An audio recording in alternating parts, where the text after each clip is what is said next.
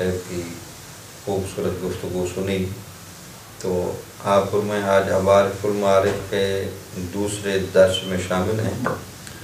ابھی مقدمے کا تذکرہ چل رہا ہے۔ جو شیخ شہاب الدین سوربردی رحمۃ اللہ علیہ نے اپنی کتاب کے شروع میں باندھا۔ حمد و ثناء کے جملے بھی ہم نے پڑھ لیے۔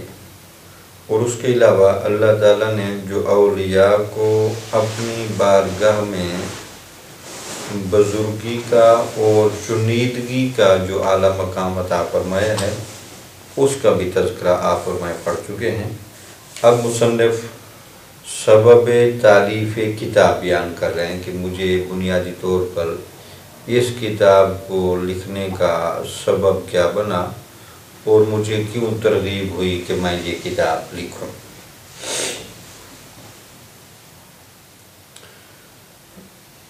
آپ علماء راسخین اور صوفیاء کاملین کی طرف اشارہ کرتے جملہ فرماتے ہیں، واضح ہو کہ میں بھی اس جماعت کا مسلک پسند کرتا ہوں کہ ان کے عمدہ حالات اور ان کے صحیح مسلک کی وجہ سے جو کتاب و سنت پر مبنی ہے، مجھے ان سے محبت ہے۔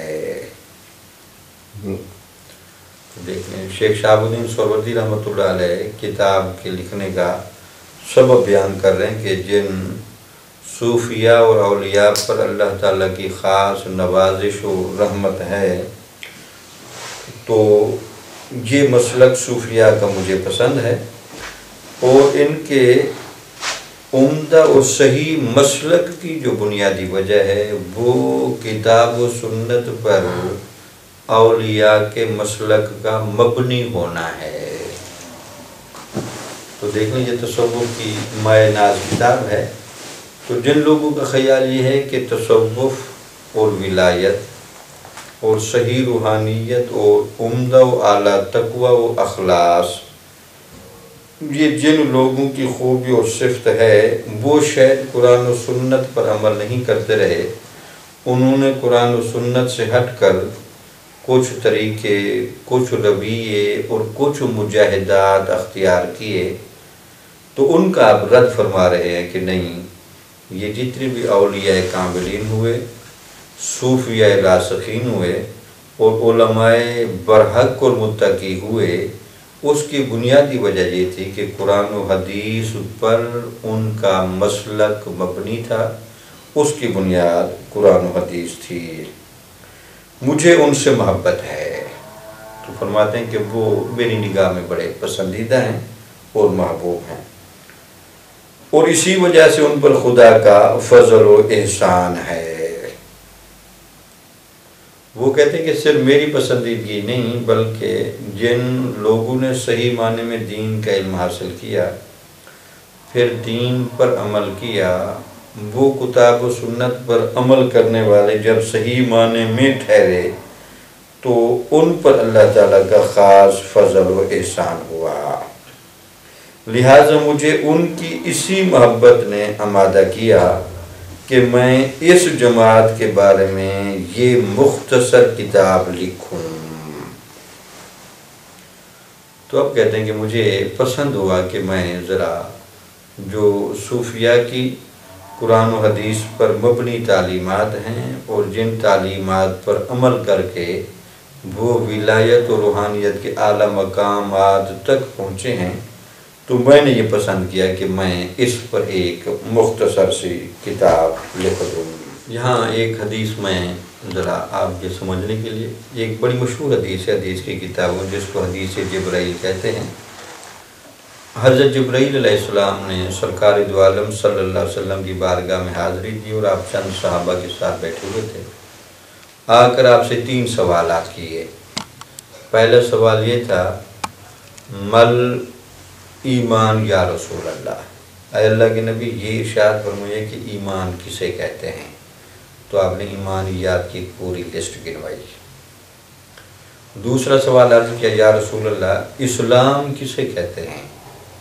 تو آپ نے ضروری اور فرائض درجے کے اعمال پر عمل کرنے کا ذکر فرما کر ارشاد فرمایا کہ اسے اسلام کہتے ہیں۔ تیسرا سوال کہ یا رسول اللہ، احسان کسے کہتے ہیں؟ تو حضور نبی اکرم صلی اللہ علیہ وسلم نے ارشاد فرمایا کہ احسان یہ ہے کہ تو اللہ تعالیٰ کی اس طرح عبادت کر، گویا کہ تو اللہ تعالیٰ کو دیکھ رہا ہے۔ اگر ایسا نہیں کر سکتا، تو پھر اللہ تعالیٰ کی اس طرح عبادت کر کہ اللہ تعالیٰ تجھے دیکھ رہا ہے۔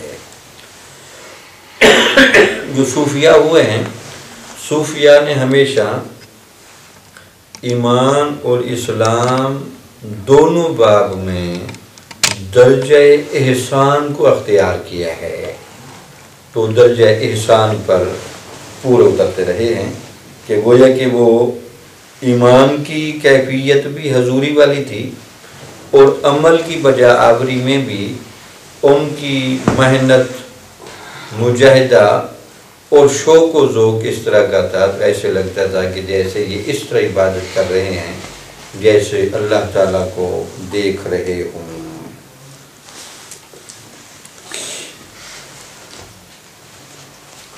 واقعہ یہاں خوبصورت سنا دوں۔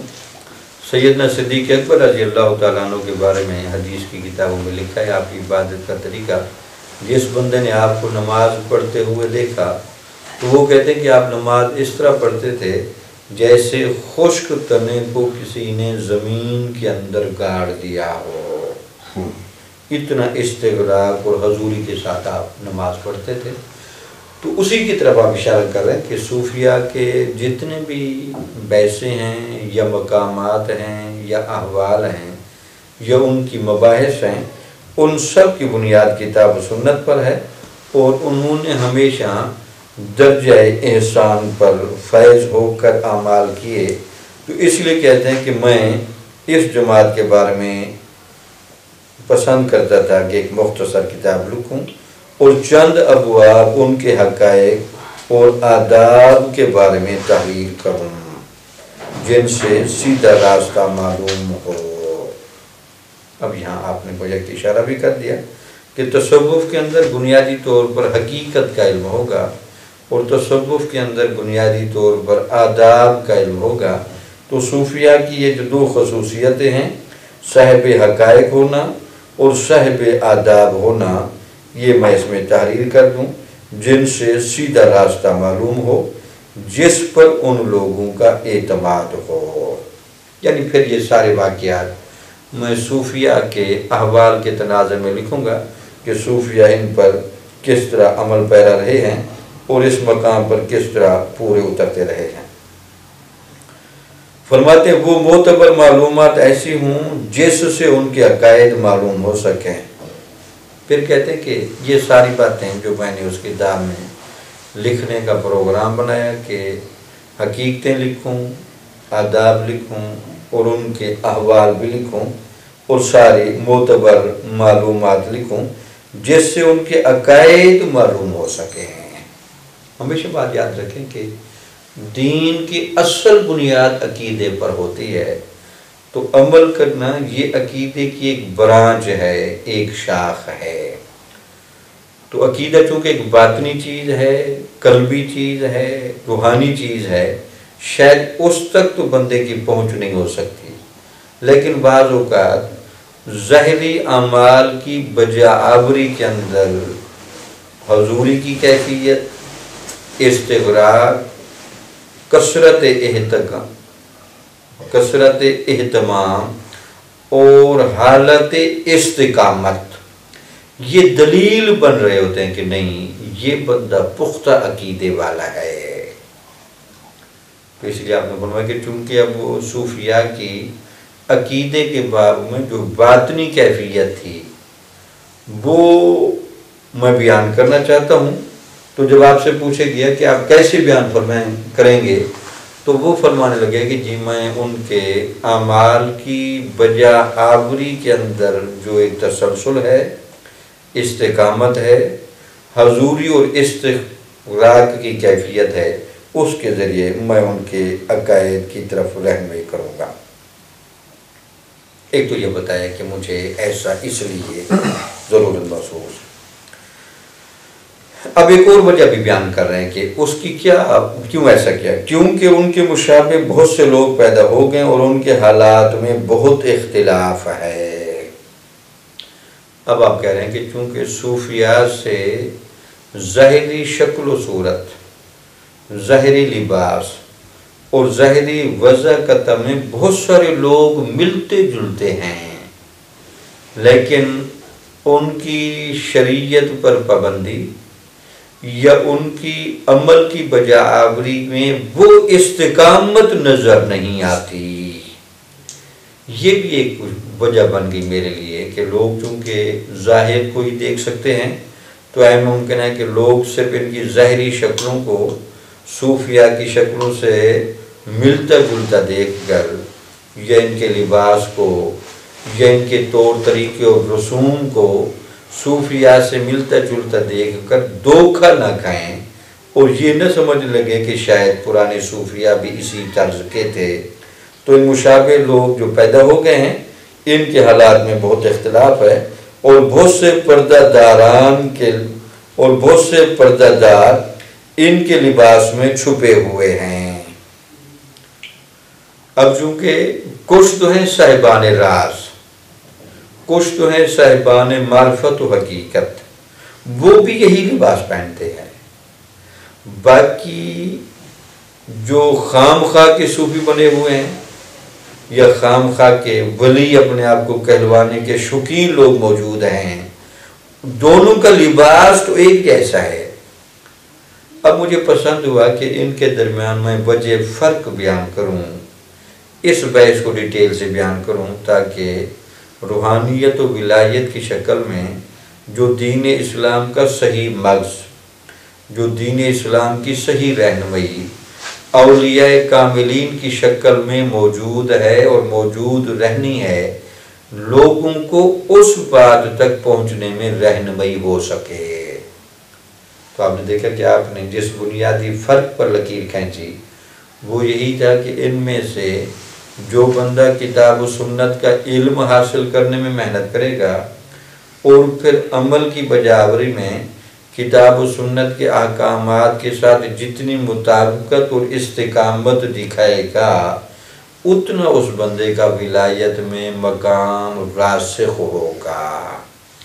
یہ فرماتے ہیں کہ یہ وجہ بنی کہ میرے ذہن میں آیا کہ چونکہ حالات ایسے پیدا ہو گئے ہیں، لوگ گمراہ ہو سکتے ہیں تو لوگ غلط راہ پر جا سکتے ہیں۔ میں وہ اصل حقائق بیان کروں، اندر کی بات کھولوں۔ مگر ان کے عمل خراب ہیں۔ اب مطلب بہت سے پردہ دار ان کے لباس میں چھپے ہوئے ہیں، مگر ان کے عمل خراب ہیں۔ لہذا جو شخص ان بزرگان صرف کے اصولوں سے ناواقف ہے، اس کے دل میں برد گمانی پیدا ہو سکتی ہے۔ یعنی جو صحیح کاملین اولیاء اور راسخین متقی علماء کی تعلیمات سے واقف کار نہیں ہے، اس نے صرف ظاہری شکلوں کو دیکھ کر، پگڑیوں کو دیکھ کر، داڑھی کو دیکھ کر اور وضاقتہ کو دیکھ کر یہ نہ سمجھ لگ جائے کہ شاید ولایت و روحانیت یہی ہے۔ حالانکہ ولایت و روحانیت ان ظاہر کی چیزوں کا لحاظ بھی کرنا ضروری ہے۔ لیکن بہرحال ولایتوں کے اندر کا بندے کا اللہ سے رابطے کا نام ہے، تو اس وجہ سے صرف کے ساتھ بدگمانی ہو سکتی تھی۔ تو آپ نے فرمایا کہ میں اس چیز کو بیان کروں۔ اور ممکن ہے کہ اس جماعت کے برخلاف تعن و تشنی کرے اور یہ سمجھ لے کہ یہ بھی رسومات کا مجموعہ ہے اور برائے نام ان کی تحقیق کی گئی ہے۔ پھر کہتے کہ ایک اور وجہ بھی بن گئی۔ تو جب میں نے دیکھا کہ دیکھنے والے ضروری نہیں کہ ناقد نظر سے دیکھیں، بعض اوقات حقیقت پسند لوگ بھی ہوتے ہیں۔ تو ہو سکتا ہے کوئی بندہ جب اس کو دیکھے جی تصوف تو ان رسومات کا نام ہے، جن کا ذہن بھی پازیٹیو نہ ہو، جن کا قلب بھی روحانی نہ ہو، جنہوں نے ذکر و مجاہدہ کر کے وہ روحانی کیفیتیں حاصل نہ کی ہو سکتے ان کی ظاہری طور اتوار کو دیکھ کر وہ گزرے ہوئے اولیاء پر کہیں تان و تشنی نہ کرے۔ ان کو برا بھلا نہ کہے اور ان کے طریقے کو نہ سمجھنے کی وجہ سے مشکلات پیدا نہ کرے۔ اور یہی کہتے رہے جی صوفیہ جو ہیں، یہ حقیقت سے دور طبقہ ہے۔ تصوف جو ہے، یہ چند رسومات کا نام ہے۔ تو آپ نے دیکھا کہ یہ تصوف کی صحت کا، تصوف کی حقانیت کا اہتمام ہمیشہ صوفیہ داخلی طور پر بھی کرتے رہے ہیں۔ تو لہٰذا آپ اور میں کہہ سکتے ہیں کہ یہ کتاب بنیادی طور پر تصوف کی تنقید، تصوف کے اصل حقائق کو واضح کرنے کے لیے لکھی گئی ہے تاکہ جو لوگ تصوف کی راہ میں آئے اور ان کو درجہ کمال نہ مل سکا یا انہوں نے ذرا شہرت کی وجہ سے یا تصوف کے لوگوں پر، لوگوں کے پیار و محبت کو دیکھتے ہوئے تصوف کی راہ اختیار کی، تو پھر آپ اس بات کو کلیئر کر رہے ہیں کہ حقیقت اور ہے اور یہ ظاہری طور پر اس پر چلنے والے لوگ اور ہیں۔ اب اگلا فرماتے ہیں کہ میرا ارادہ ہے کہ میں اہل تصوف کے طریقہ میں لوگوں کی جماعت کو بڑھاؤں اور ان کے حالات کی طرف اشارہ کروں۔ کیونکہ کہا گیا کہ جس نے کسی جماعت کی تعداد کو بڑھایا، وہ بھی اس جماعت میں شامل ہوتا ہے۔ اب آپ کہہ رہے ہیں کہ یہ میں نے تصوف کے فروغ کے لیے، لوگوں کو تصوف کی طرف دعوت دینے کے لیے، تصوف کے اصل حقائق لوگوں تک آشکار کرنے کے لیے یہ کتاب لکھی ہے۔ اب جب آپ سے پوچھیں گے کہ یہ ایسا کیوں کر رہے ہیں تو آپ نے کہا کہ میں حدیث پر عمل کر رہا ہوں، جس میں یہ ہے کہ حضور نبی اکرم صلی اللہ علیہ وسلم نے فرمایا کہ جس بندے نے کسی جماعت کی تعداد کو بڑھانے میں محنت کی، قیامت والے دن وہ بھی اسی جماعت کے ساتھ ہوگا۔ تو ویسے تو آپ بھی اولیاء کاملین میں سے ہیں اور اولیاء اظام سے ہیں، شیخ شاہب الدین سوربردی رحمۃ اللہ علیہ۔ لیکن بہرحال آپ کہہ رہے ہیں کہ میرا اس کتاب کو لکھنا اس حدیث پر عمل کے مترادف ہو جائے گا۔ اب آپ نے دیکھا کہ یہ کتاب کیوں لکھی؟ اگر اسی کو میں ذرا دو لفظوں میں، دو جملوں میں دو رہا ہوں۔ یعنی آپ کہہ رہے ہیں کہ ایک تو یہ بتانے کے لیے کہ قرآن و سنت پر اگر کسی نے صحیح معنی میں عمل کیا ہے یا قرآن و سنت کی تعلیمات کو صحیح معنی میں لے کر چلے ہیں، تو وہ طبقہ اولیاء ہے۔ یہ طبقہ صوفیہ ہے۔ ان کے پاس دین کا مغز ہے اور دین کی روحانیت ہے۔ دوسرا پھر آپ نے یہ فرمایا کہ اب چونکہ لوگوں کی شکلیں ایک جیسی تھیں اور لباس ایک جیسے تھے طور اتوار ایک جیسے تھے تو میں نے یہ محسوس کیا کہ ایسے فرق کی نشاندہی میں کروں جس فرق کے ذریعے ناقص کے اندر اور کامل کے اندر امتیاز ہو جائے۔ تو وہ آپ نے فرمایا کہ وہ عمل کی بجا آوری میں محنت اور استقامت ہوگی۔ شاید پچھلی مجلس میں میں بیان کر چکا ہوں، نہیں تو وہ بڑا خوبصورت واقعہ ہے۔ خواجہ کلیم اللہ جہاں آبادی رحمۃ اللہ علیہ کے ایک مرید تھے نظام الدین اورنگ آبادی وہ ان سے پوچھتے ہیں، حضرت صاحب، اگر کسی زمانے میں دو ولی مقام و مرتبے میں کہے جاتے ہوں کہ برابر درجے کے ہیں لوگ کہتے ہوں، علماء کہتے ہوں، تو اگر میں ان میں تفریق کرنا چاہوں تو کیسے کروں؟ تو آپ نے فرمایا کہ جن کو ایک زمانے کا ایک جیسا کہا جاتا ہے۔ ان میں یہ دیکھیں کہ قرآن و حدیث کا پابند سب سے زیادہ کون ہے؟ اور شریعت پر عمل کرنے میں کوشش کون زیادہ کرتا ہے؟ تو جو ان میں کوشش زیادہ کرے گا، زیادہ پابند ہوگا، تو آپ نے یہ ذہن میں رکھ لینا ہے کہ وہ ولایت کے مقام و مرتبے میں زیادہ گہرا اور زیادہ کامل ہوگا۔ اب کہتے لہٰذا میں خدا و تعالیٰ سے یہی چاہتا ہوں کہ وہ میری نیت درست رکھے اور اسے نفسانی آلودگیوں سے پاک و صاف رکھے۔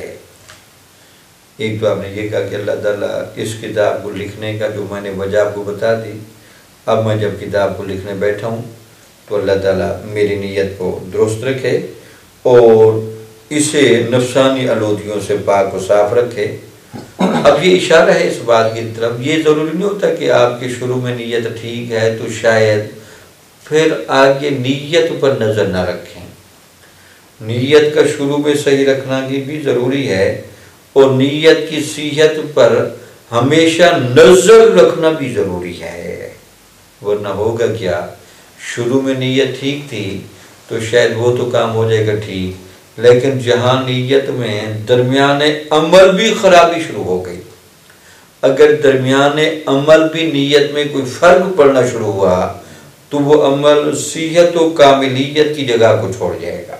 اسی لیے آپ نے دو جملے بولے۔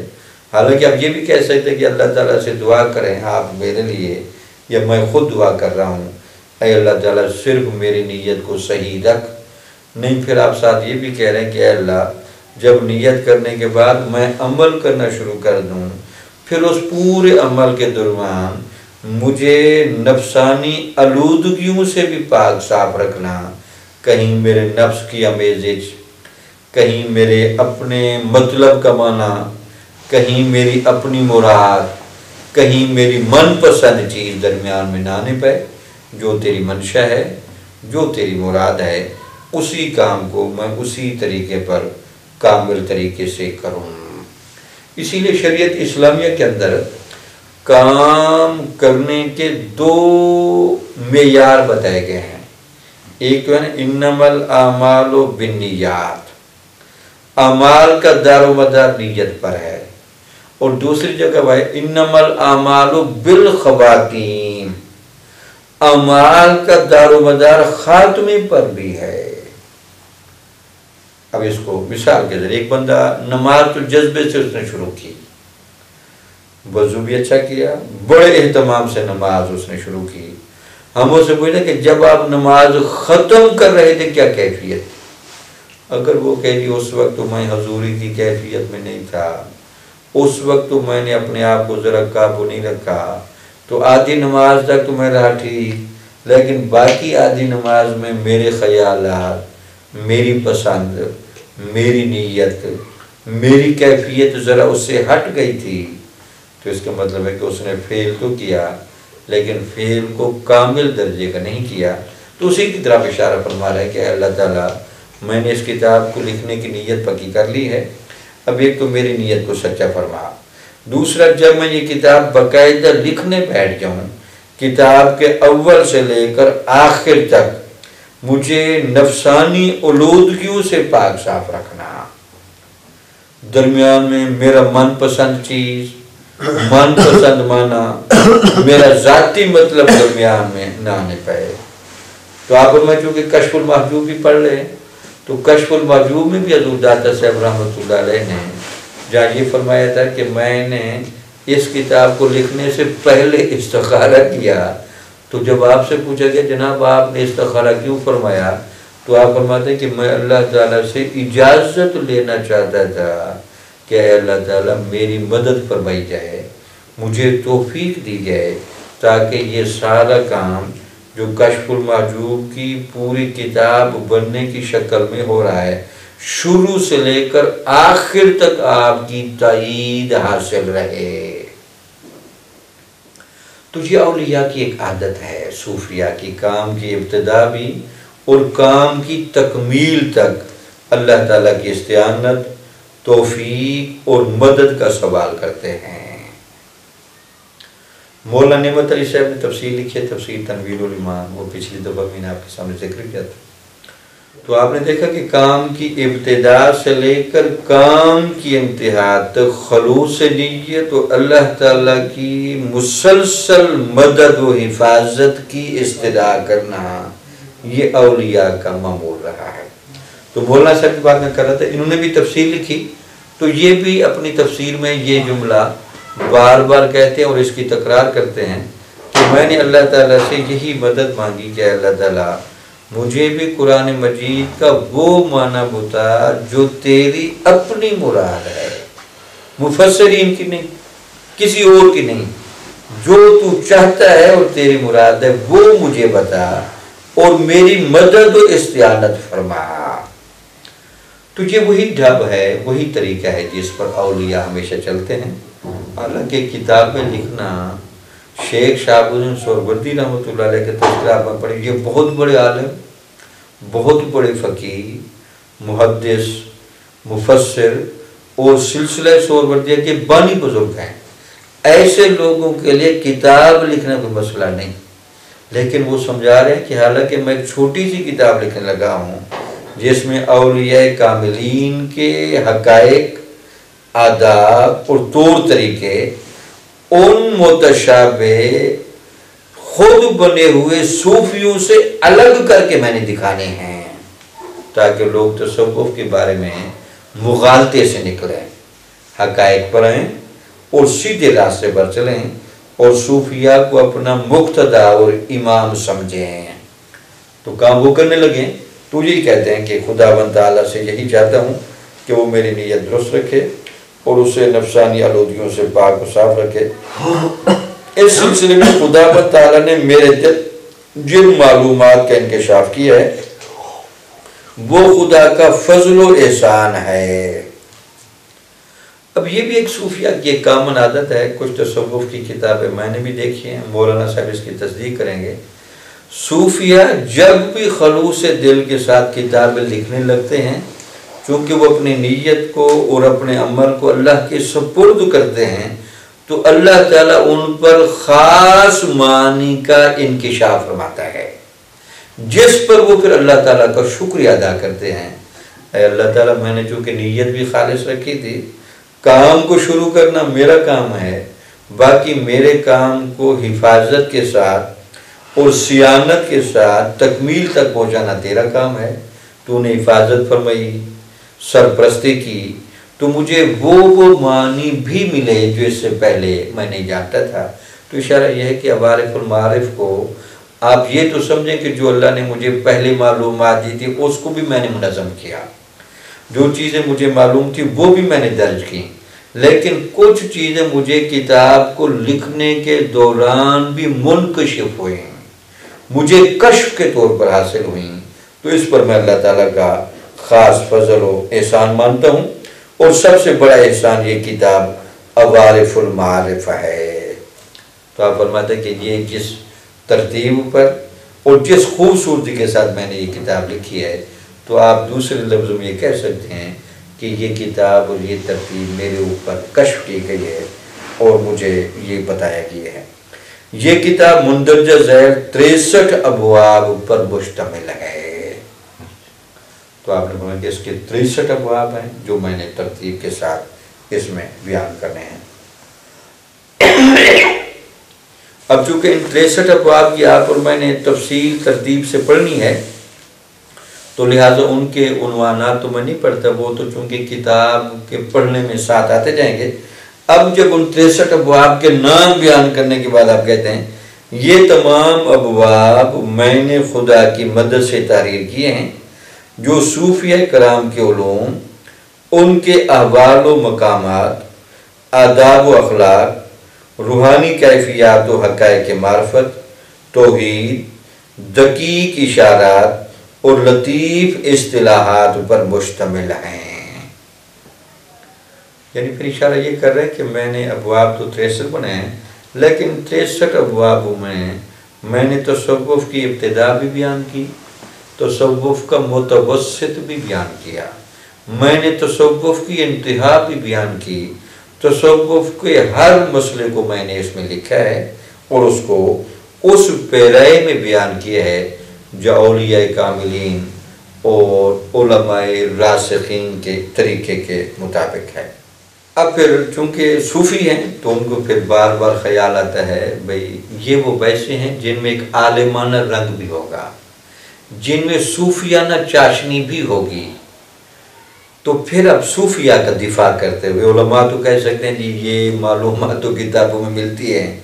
آپ نے کون سا بڑا تیر مارا کہ ان معلومات کو منظم کیا اور منظم کرنے کے بعد کتاب لکھ دی تو آپ ان کو اشارہ کرتے کہتے ٹھیک ہے، علماء نے کتابیں لکھی ہیں۔ ویسے ان کی کتاب میں موجود ہے، میں اسے انکار نہیں کرتا۔ لیکن اپنے بارے میں کہتے ہیں، اور صوفیہ کرام کے تمام علوم ان کے صحیح روحانی جذبہ ہو اب ذرا صوفیہ کے جو علوم ہیں، یہ کیوں علماء سے مختلف ہیں؟ یہ علماء سے کیوں زیادہ ہیں؟ علم میں اضافہ کیوں آ گیا؟ یہ ان کے اندر علم میں اور عمل میں اور عقیدے کی مباحث میں وہ کاملیت کیوں ہے؟ اب اس کا بھی جملہ فرما رہے ہیں فرماتے ہیں صوفیہ کرام کے تمام علوم ان کے صحیح روحانی جذبہ، معرفت خدا بندی اور صحیح کیفیت و حال کے ذوق و شوق کے مظہر ہیں۔ تین چیزیں۔ اب کہتے ہیں کہ پہلا، صحیح روحانی جذبہ۔ اس میں کوئی شک نہیں کہ روحانی جذبے کی جھلک علماء میں بھی ہوتی ہے، لیکن صحیح روحانی جذبے کی نمائندگی صوفیہ کرتے ہیں۔ اس کے بعد کہتے ہیں، معرفت خدا بندی کی بحثیں ہیں۔ یہ بھی صوفیہ کا موضوع، اور صحیح کیفیت و حال، یہ بھی صوفیہ کا موضوع۔ تو اب کہتے ہیں کہ چونکہ میں نے یہ صوفیہ کے دفاع میں یہ کتاب لکھی ہے، علماء کا میں ضرور احسان مند ہوں، لیکن علماء کو میں اتنی بات کرتا چلوں کہ علماء کے ہاں علمی محنت بھی ہوگی، علماء کے ہاں عمل بھی ہوگا۔ لیکن صحیح روحانی جذبہ، معرفت خدا بندی اور صحیح کیفیت و حالت، یہ وافر حصہ صوفیہ کو ملا ہے۔ تو لہٰذا میں نے چونکہ علماء کی معلومات کو بھی لیا اور صوفیہ کی اس طرح کی معلومات کو بھی میں نے جمع کیا، اس وجہ سے یہ میری کتاب جو ہے، یہ بڑی جامع بھی ہے، کمپریہنسو ہے اور لوگوں کے لیے فائدہ مند ہے۔ پھر فرماتے کہ ان کی صحیح حقیقت صاف صاف گفتگو میں بیان نہیں ہو سکتی، کیونکہ یہ خدا داد عطیہ ہے جو صاف باطن اور پر خلوص ضمیر پر نازل کیا گیا ہے۔ لہذا محض اشارے سے اس کی اصل حقیقت کا اظہار مشکل ہے، اس لیے اسے عبارت میں ظاہر کیا گیا ہے۔ اب ذرا کہتے یہ ہیں کہ جہاں تک تعلق ہے صوفیہ کی گہرائی کا اور ان کی کاملیت کا۔ صوفیہ کے بارے میں صحیح حقیقت بیان کرنا اور صاف صاف گفتگو کرنا۔ یہ اولیاء کو اگر کوئی ولی سمجھا رہا وہاں تو ممکن ہے۔ لیکن عوام کے سامنے اور علماء کے سامنے یہ باتیں ممکن نہیں ہوتی۔ چونکہ جو جس راہ کا مسافر ہی نہیں اور اس راہ سے کبھی گزرا نہیں اس بندے کو صلاح کی کیفیتیں اگر بیان کی جائیں، تو شاید وہ بیان کرنے میں سن بھی لے گا اور شاید ماننے کے درمیان وہ رکنے کی کوشش کرے گا۔ وہ کہے گا، جناب، میں خود اس رستے سے گزرا ہوا نہیں۔ تو ان کا اشارہ یہ ہے کہ صوفیاء کی جو اصل کیفیتیں ہیں، ان کے اندر کے روحانی جذبے ہیں۔ یہ تو اولیاء ہی معلوم کر سکتے ہیں۔ ولیرہ، ولی میں شناست یہ بڑا مشہور قول ہے۔ تو ولیوں کو صرف پہچانتے تو ولی ہیں۔ اب آپ کہہ رہے ہیں کہ اس کا ایک طریقہ یہ میں اشارے کرتا۔ تو یہاں آپ کا اشارہ ہے، ان صوفیہ کے جو انہوں نے تصوف کے ربوز اشاروں میں بیان کیے۔ اس کو بھی آپ پسند نہیں کرتے۔ آپ کہتے ہیں، میں اس میں کوشش کر کے واضح عبارتیں لا لا کے ان صوفیہ کے مطالب کو، ان کے اعلی مقاصد کو اور علمی نکات کو قابل فہم بنانے کی کوشش کروں گا۔ تو آپ کا اشارہ ان صوفیہ کی طرف بھی ہے جنہوں نے تصوف کے گہرے رموز کو اشاروں میں بیان کیا۔ اب چونکہ جو بات اشاروں میں بیان کی جاتی ہے، وہ زو مطلب ہوتی ہے، کئی مفہوم نکلتے ہیں۔ تو کئی مفہوم نکلنے کی وجہ سے بات واضح ہونے کی بجائے بات الجھ جاتی ہے۔ کہتے ہیں، میں نے پھر اس کو بھی پسند نہیں کیا۔ ہاں میں چونکہ عالمانہ مشرف سے بھی واقف ہوں۔ تو پھر میں نے عالمانہ مشرب پر بیٹھ کر ممکن حد تک وہ واضح بیانات وہ سلجھے ہوئے الفاظ میں لے کر آیا ہوں، جن کے ذریعے صوفیہ کے متعلق اور معنی میں بیان کر سکوں۔ اس لیے اسے عبارت میں ظاہر کیا گیا، یہ وہ حقائق ہیں جنہیں ارواح مانوس ہو کر ایک دوسرے کو ہدیے کے طور پر پیش کرتی ہیں۔ یہاں ایک بڑے گہرے سوال کا آپ جواب دے رہے ہیں کہ اب عام طور پر تصوف میں کہا جاتا ہے کہ تصوف کا فیض سینہ بسینہ چلتا ہے تو آپ اس کی تعید کریں کہ ہاں تصوف کا اصلاً فیض تو جو ہدیے کے طور پر، تسلسل کے طور پر وہ پاک سینوں سے پاک سینوں کی طرف جاتا ہے۔ ہے تو اس کی رمز یہی، طریقہ اس کا یہی ہے۔ لیکن بہرحال چونکہ زمانہ ایسا ہے کہ لوگوں نے تصوف کو الجھایا ہے، لوگوں نے تصوف کو ایک ایسے رنگ کی طرف میل کر دیا ہے جس سے تصوف کی اصل پکچر گجلک ہو رہی ہے۔ تو اس لیے میں اس سینہ بسینہ کا بھی قید ہوں، میں اس کو مانتا ہوں، لیکن یہ کتاب لکھنے کا جو میرا بنیادی طور پر مقصد یہ تھا کہ میں لوگوں کے سامنے حقائق کھولوں اور اصل عبارتیں ان کے سامنے میں واضح کروں۔ اور الطاف خدا بندی کے سمندر سے فیض یاب ہوتی ہے۔ تو مطلب یہ ہے کہ وہ کہتے ہیں سینہ بسینہ روحانی حقائق چلتے ہیں۔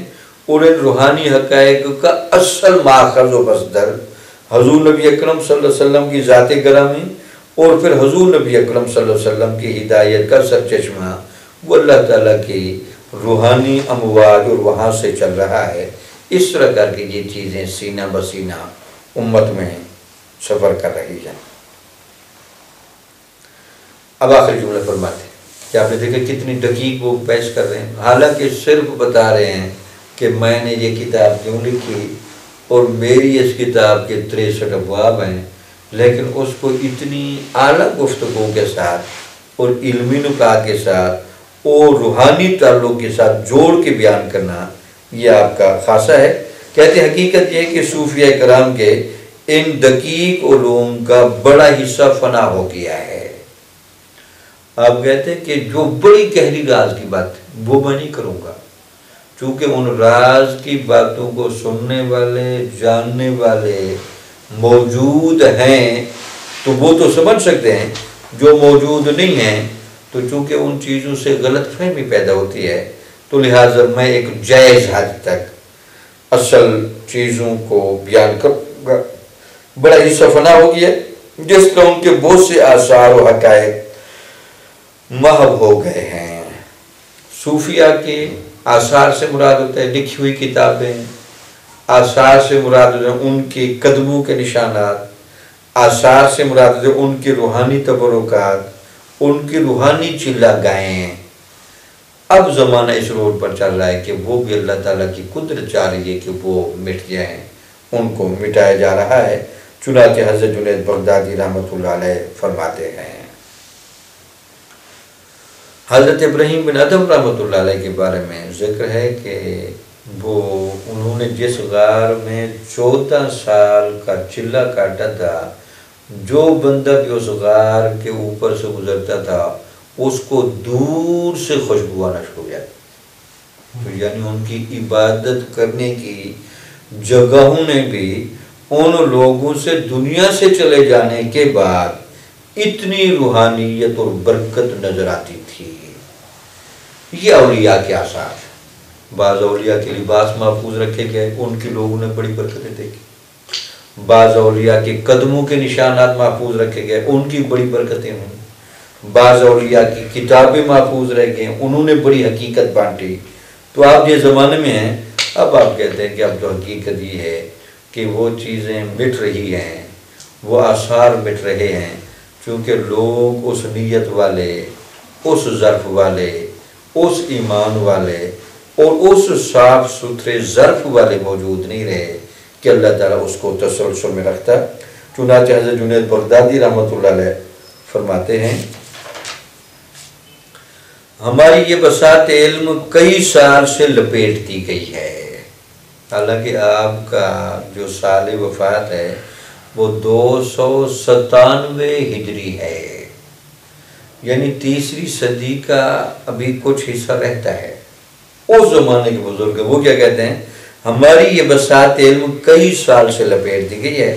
لہٰذا ہم اب صرف اس کے حواشی کے بارے میں گفتگو کر رہے ہیں۔ اب تو جو ارد گرد حاشیہ لگایا جاتا ہے یہ اضافی چیزیں ہوتی ہیں اب تو ہم اس چیز کو دیکھ رہے ہیں، ایک ہوتے اصل متن اور ایک ہوتے متن کے اوپر حاشیہ۔